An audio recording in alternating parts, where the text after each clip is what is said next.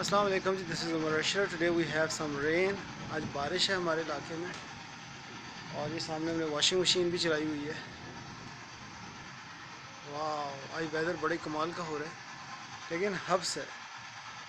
Hubs की वजह से काफ़ी ज़्यादा मौसम जो है ना वो गर्म है। Thank you